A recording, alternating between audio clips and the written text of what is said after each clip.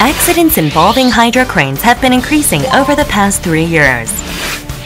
Most hydro crane accidents lead to serious injuries. Hydro crane related accidents include rollovers, electric shock, falling, and collisions. Let's take a look at the basic items and inspection methods for hydro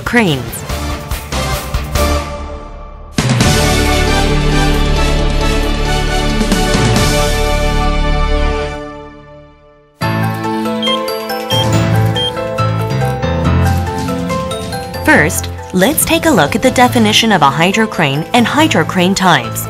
A hydro crane refers to a crane that can be moved to any location and is equipped with a hydraulic boom for lifting heavy items. Hydro cranes are categorized into truck cranes that are equipped with wheels on the lower portion, rough terrain cranes that can be driven and operated from the same cabin, and all-terrain cranes that combine the advantages of truck and rough terrain cranes.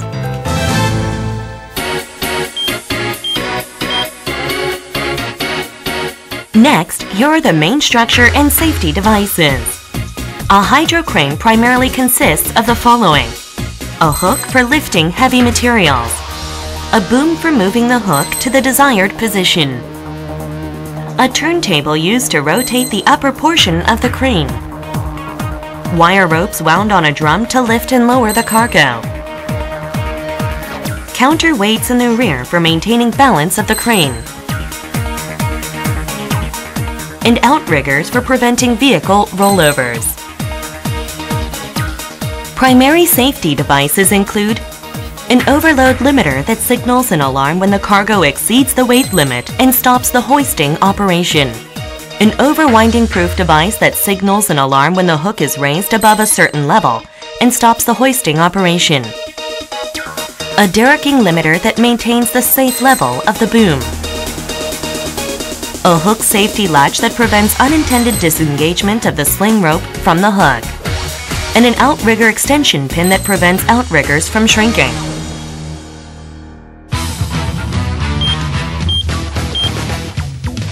Next, here are the pre-operation inspections.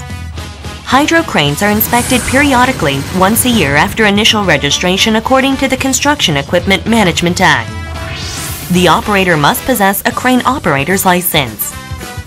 When the hydro crane is brought into the site, the construction equipment work plan, construction equipment registration, hydro crane operator's license, insurance card, and other necessary documents must be reviewed. When working with mobile cranes, the soil conditions of the worksite, suitability of the work plan based on specifications, sufficient distance with high voltage power cables, and safety measures according to the wind speed must be checked at all times.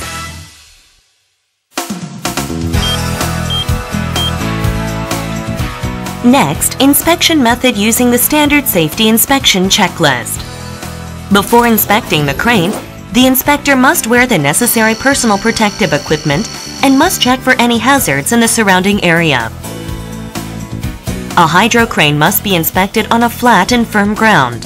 With the exception of operational status checks, all inspections must be performed while the engine is turned off. Firstly, the inspection method for the overload limiter is as follows. Make sure that the work radius and max load of actual measurements matches indication of the monitor. And check that the overload limiter has not been tampered with. Monitor malfunctions may result in failure to detect overload and may result in the crane rolling over. Next, the inspection method for the overwinding proof device is as follows. Make sure that signals an alarm when the hook is raised above a certain level and stops rising. Failure of overwinding proof device may result in deviation or breakage of the wire ropes and may result in dropping the materials. Next, the inspection method for the hook and sheave are as follows. The hook safety latch must open with ease and the sheave must be free of deformations and wear. Damages to the hook safety latch may result in the sling coming loose while lifting, leading the cargo to fall. Here are wire rope inspection methods. Inspect the wire rope visually and use a tester to check for wear and tear and other damages. Damaged wire rope may cause the hook or cargo to fall and it must be inspected regularly.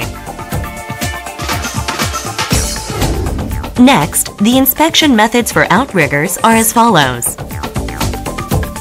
The outriggers should be extended to their full length, and outrigger extension pins must be inserted firmly. Make sure that solid blocking under all floats is flat. If blocking isn't flat and solid, it may sink while in operation, leading to a rollover. Next, the inspection methods for counterweights are as follows. Make sure that the number and capacity of the counterweights matches the manual and check that no extra counterweights have been added. Adding extra counterweight may result in malfunctions and also voids insurance claims in case of an accident. Next, the inspection methods for wire rope displacement prevention pins are as follows. Make sure that the wire displacement prevention pins are installed on the top sheaves to prevent wire ropes from being displaced. Missing wire rope displacement prevention pins may cause the wire rope to be displaced, leading to the dropping of the hook.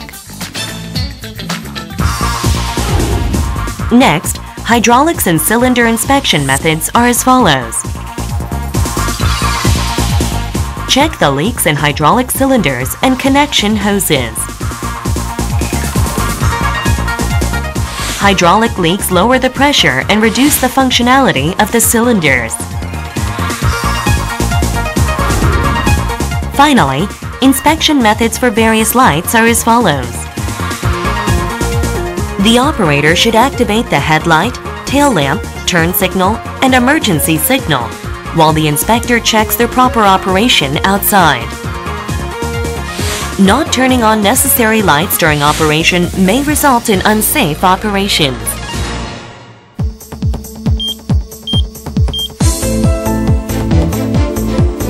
Here are the safety management points. Overload limiter must not be tampered with.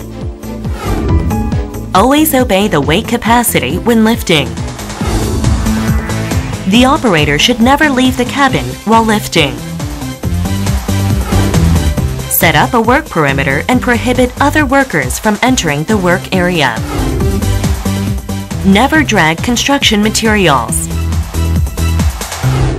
Always expand the outrigger fully before beginning operation. Always retract the boom when moving. Listed above, basic safety rules must be obeyed at all times. On site, the supervisor must review safety beforehand through work plans and other documents before the hydro crane is brought into the site. The supervisor must also prevent possible accidents by inspecting it correctly before and during operation. This has been the inspection method using the standard safety inspection checklist for hydro cranes and safety management points. Thank you.